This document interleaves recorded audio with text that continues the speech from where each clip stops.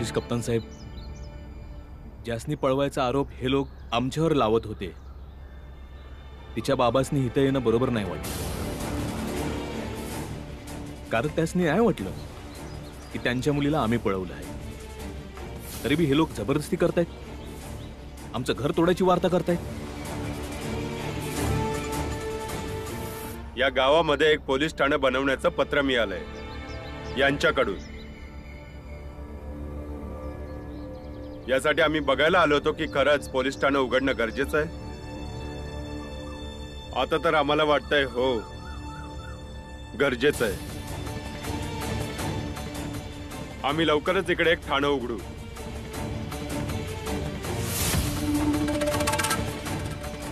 चला जा चला जा तुम्ही सगळे इथून.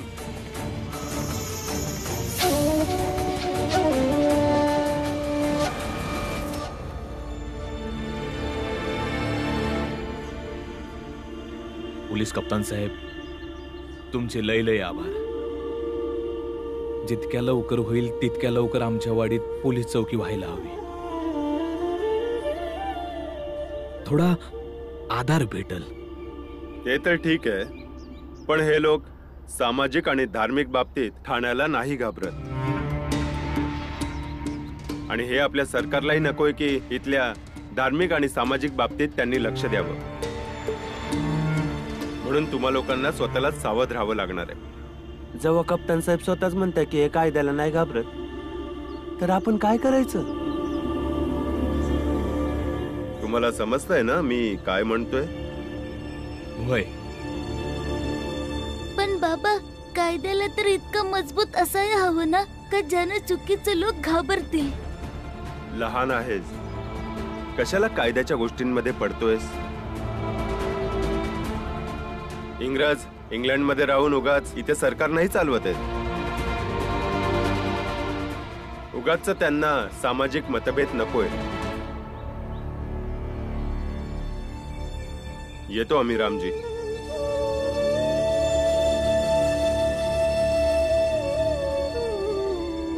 सौताची काळजी घे.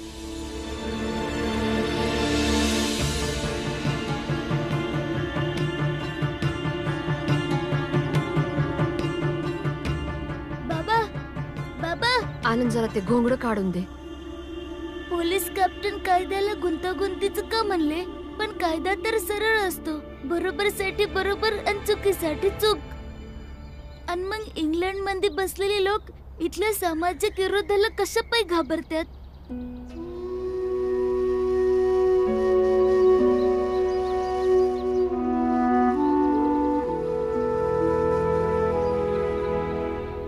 भीमबाळा कायदा तर लय सरळ असतो या आणि त्यासनी सरळ बी असायलाच पाहिजे.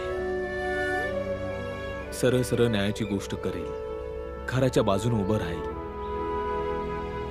पण बाळा जे लोक कायद्याच्या नियमानं काम करतात ते लोक बी शेवटी माणूसच आहेत. मग जी गोष्ट माणसाच्या हातात लागल ती तर उडून जाईल. जर इंग्रजांनी इथं राज्य करायचं असेल तर ते लोक कधीच नाही जाणार. कोणत्या बी गोष्टीला घेऊन इथल्या लोकांच्या मनात राग यायला पाहिजे विरोध झाला पाहिजे. कारण की जर असं काही झालं तर लोकांच्या मनात त्यांच्याबद्दल चीड हाय राग हाय. तर ते बी विरोधाच्या रूपामध्ये समोर यायला लागल. आणि ते लोक ह्या गोष्टीला बरोबर जाणून आहेत समजून आहेत. जर माणसाला विरोधात उभं राहायची सवय पडली तर त्यांच्या मोहर बी उभं राहू शकतात. महिना हम्म. ध्रुव लवकर चल. अरे मी तर केव्हापासून तयार आहे बाळादादा. निघतो भीम आणि कालच्या विजयासाठी पुन्हा अभिनंदन. आणि तू असाच जीवनात जिंकत राहा पुढे जात राहा. आणि एक दिवस तुझ्या सगळ्यात मोठ्या विजयावर ना मी आणि बाळादादा मिळून बाजा वाजवू आणि खूप नाचू. मी आम्ही नाचणार हा. चल आता. काळजी घ्या तुम्ही दोघं. आनंद तर आपण बी विद्यालयात जाऊया. मला अजून शिकायला लागेल कारण बाबांनी सांगितलेली गोष्ट मी नाही समजू शकलो.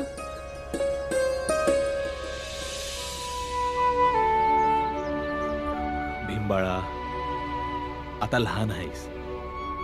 जसा जसा मोठा होत जाशील हळूहळू समदे गोष्टी लक्षात येतील.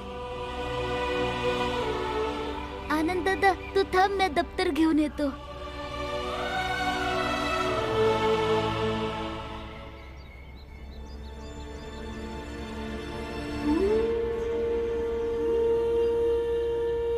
भीमा तू आता शाळेत जाणार? ती माणसं आता लय रागात आहेत. ज्यासने उगीच राग येतो त्यांच्या रागाला जास्त महत्त्व नाही द्यायला पाहिजे. अरे पर जास्त उगीच राग येतो ती माणसं ती माणसं काय बी कराय उगीच नाही घाबरत. बघितलंयस ना तू त्या लोकांनी तू काळजी नका करू मी सावध राहीन.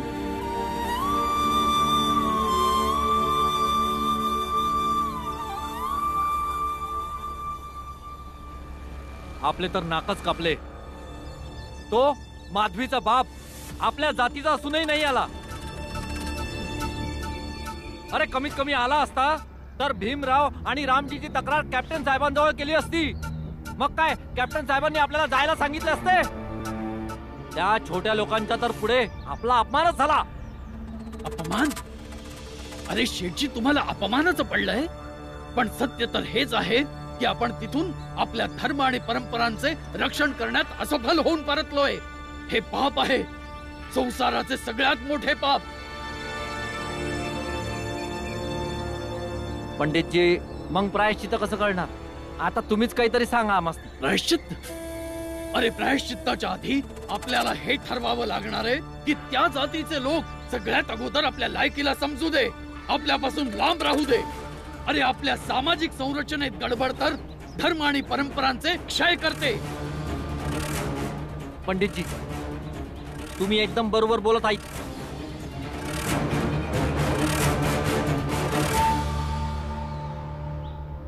शेठजी आता काहीतरी मोठा विचार करायला लागल. लय मोठा.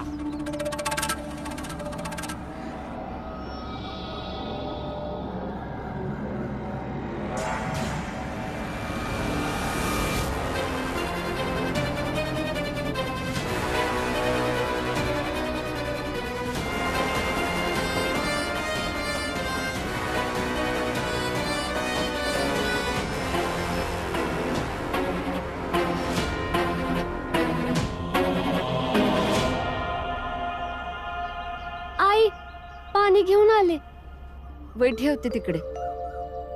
ऐक भाजी कापून घे. मी तांदूळ निवडते. म्या निवडते की. भीमाबाई म्या आता कामावर जातो. आवड जेवण. काहीतरी खाईन बाहेर.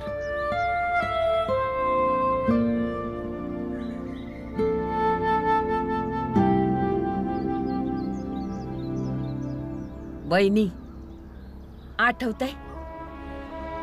जेव्हा भीम जन्माला आला होता तेव्हा? भाऊ पहिल्यांदा त्याला हातात घेऊन बाहेर निघताना काय बोलला होता? वय लक्षात आहे ना? आता अंधार सरल उजेड होईल आणि रोजच्या दिसापेक्षा लय चमकणारा सूर्य निघणार. अंधार सरल आणि सूर्य निघल. आज मला सूर्य उगवतानाचा पहिला लालिमा दिसतोय. वहिनी आपला भीम काही सामान्य मुलगा नाही आहे. आज त्यानं ज्या कोणत्या जातीतल्या बाईला मदत केली असेल. पर त्या बायका जेव्हा भीमाची आठवण काढतील तेव्हा चांगलंच बोलतील. आणि म्या तर म्हणती की आज साताऱ्यात राहणाऱ्या प्रत्येक बाईच्या आत्म्याला आपल्या भीमाचा अभिमान वाटत असेल.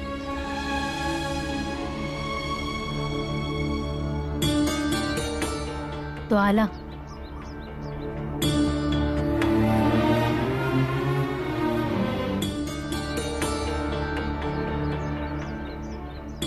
गुरुजी त्या इधवा बायका आपल्याकडे का बघत आहेत?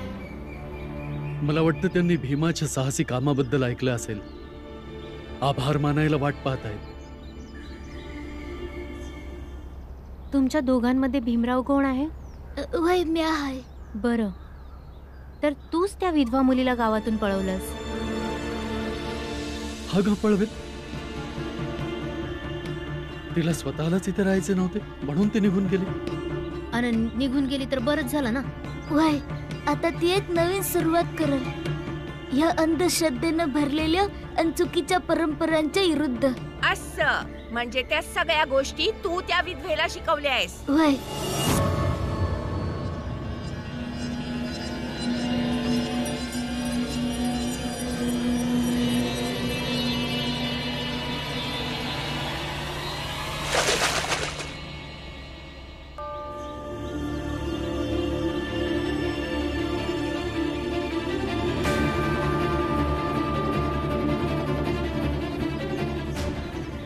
हे काय केलं तुम्हा लोकांनी? विधवा होणं एक दंड असतो आणि ते भोगणं हा विधवांचा धर्म असतो. आणि आम्हा सर्व विधवांना त्या धर्माचं पालन करावं लागतं. आणि तुम्ही आहात कोण? आम्हाला या धर्माचं पालन करण्यापासून रोखणारे.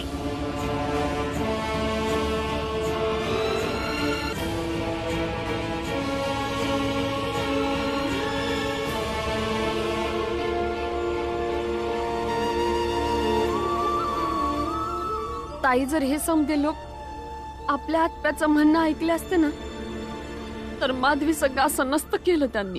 नशीबच आहे. आज माधवी जिथं कुठं आहे तिथं तिच्या आत्म्याचे ऐकणारे लोक आहेत. तिकडं तिचं परत लगीन होईल? इकडे ये.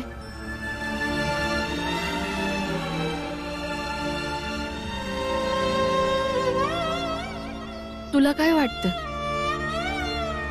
काय व्हाया पाहिजे माधवीचं? लगीन.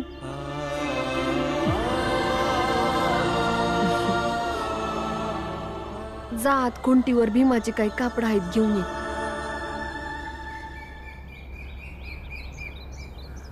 ताई या आजकालच्या पोरी आहेत. समाजाच्या रीतिरिवाजाला जास्त दिस नाही म्हणणार ह्या. चला चांगलं आहे. इद्वांचा उद्धार तर व्हायलाच पाहिजे. काय करणार? बाईच बाईची वैरी बनून राहते.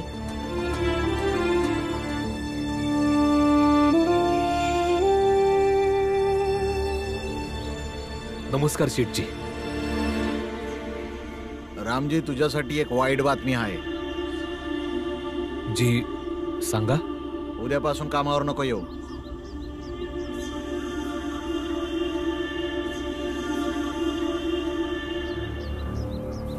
ठीक आहे शेठजी. पण आजचं काम करतो उद्यापासून नाही येणार कामावर.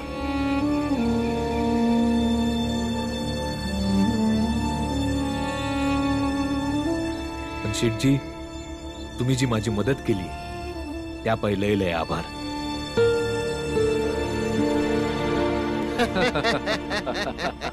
बघितलं? हीच विशेष बाब आहे रामजी मध्ये मी म्हणालो होतो ना याला कसलीच चिंता नाहीये. नाही शेठजी. चिंता आहे पण चिंतेपेक्षा जास्त आशा आहे आणि आशा या गोष्टीची की जोवर जिथं आहे तोवर काम करत राहील. कारण कामापायी म्या इमानी आहे आणि इमानी लोक कधी उपाशी नाही मरत. अरे रामजी शेठजी तुझी दृढ इच्छाशक्ती आहे नव तीच दाखवत होते.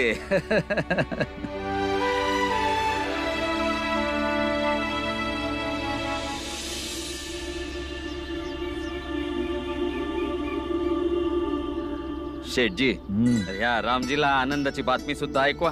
रामजी. जी बोला. रामजी मी म्हणालो होतो ना तिथून काही अंतरावर गोरेगावला सरकारी ठेकेदाराचा एक तलाव सुरू होत आहे. हा. तिथे एक हिशोबनीस हवाय जो कामाचा हिशोब वगैरे ठेवू शकेल. पंधरा वीस दिवसात काम सुरू होईल. तू तिथेच जा आणि पगार सुद्धा तिथे दुप्पट असेल तुला.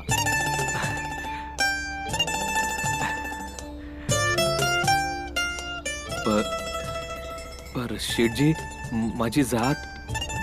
रामजी तलाव तर तुमचेच लोक खोदणार ना? ही गोष्ट वेगळी आहे की तलाव बनल्यानंतर त्याचे शुद्धीकरण होऊन ते कुणा दुसऱ्याचे होऊन जाईल. धन्यवाद शेठजी. घरातले ऐकतील तर लय आनंदी होतील.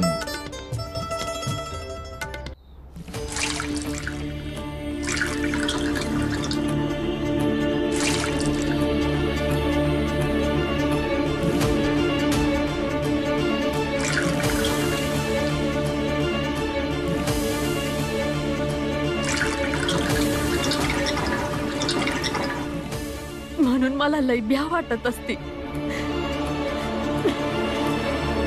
पण आई मी तर त्यांच्या हिताची गोष्ट करतो आहे. त्यासनी समजत नाही. का एवढा त्रास सहन करून बी आवाज नाही उठवणार तर त्यांचं जीवन कसं बदलल? इतकं सोपं नाही आहे त्यांचं आयुष्य बदलणं. लई काळापासनं या बाया परंपराचं वज उचलतायत. वयाबरोबर त्यासनी वाटायला लागतंय की त्या ज्या जगतायत त्याच बरोबर आहेत. एकच वाट आहे त्यांच्या जवळ आता जगायची. कारण धर्म आणि वर्च्याच्या नावानं त्यासनी इतकं घाबरवलं जातं की समजा सहन करून मी त्यासनी चुकीचं नाही बोलू शकत. आणि यामुळं भीमा ह्याच्या विरुद्ध आवाज उठवणारा प्रत्येक जण त्यासनी चुकीचं वाटतो.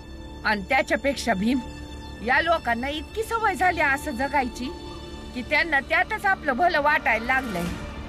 आणि त्यांनी हे स्वीकारलंय. की त्यांनी जर समाज आणि धर्माच्या नियमांचं पालन नाही ना केलं तर तर त्यांच्या कुटुंबाचं वाईट होईल आणि मेल्यानंतर बी त्यांच्या आत्म्याला शांती नाही मिळायची. पण आई ही गोष्ट त्यांच्या डोक्यात टाकलीस कुणी? पुरुषांनी. चूक आपल्या पुरुष प्रधान संस्कृतीचीच आहे. समाजाची आहे. ज्यानं आपल्या स्वतःपायी तर काही काहीच आचरण ठरवलं नाही आहे पण बायांपायी पण बायांपायी ना कुणास ठाऊक अशा किती अडचणी बनवल्या आहेत ज्यात बांधलेली बाई ना मुक्त श्वास घेऊ शकते आणि नाही मुक्तपणे कुणाशी बोलू शकते. फक्त सहन करत जाते. सगळ्यात जास्त सहन करते ती एक इदुहाबाई. या समध्या बायांमध्ये. सगळ्यात वर तीच आहे. समाज त्यासनी श्वास घ्यायचा तर हक्क देतो पण जगायचा हक्क हिसकावून घेतो.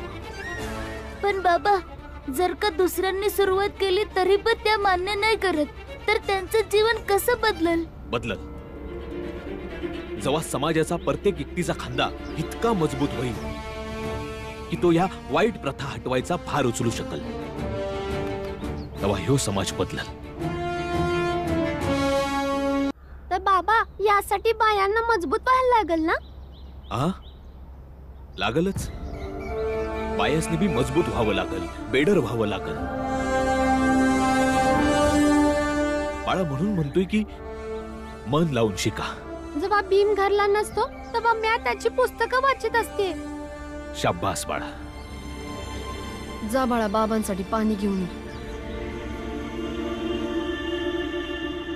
तुम्हाला ठाव आहे का आज काय झालं? हा?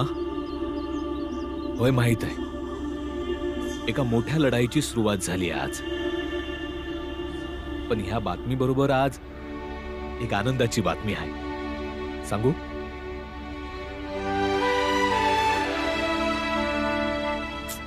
सांगा ना. सांगू?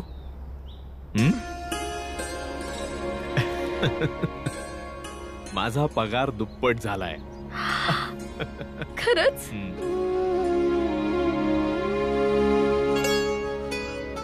फक्त ती जागा ह्या जागेपासून थोडी लांब आहे. गोरेगाव मंदी. तर रोज इथनं येणं जाणं तर नाही करू शकणार. तर मी विचार करतोय की तीन चार दिवसानंतर घरला येईल. तर भीमाबाई आणि मीरा तुम्हा दोघांनी आता पोरांची जबाबदारी घ्यावी लागेल. पण बाबा इतक्या लांब नोकरी कशा पाय करायची? तुम्ही तीन तीन चार चार दिवसानंतर येत राहणार. तर मग आम्ही कसं राहणार तुमच्याशिवाय? भीमबाळा आता नोकरी करणं आणि पैक कमवणं बी गरजेचं आहे ना?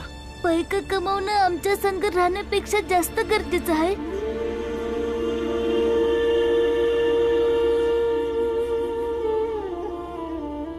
गोष्ट फक्त भावनेची आहे तर अजिबात नाही. कारण की कुटुंबाच्या मोर दुनियेची समधी दौलत फिकी आहे जर गोष्ट जबाबदारीची आहे तर लय गरजेची आहे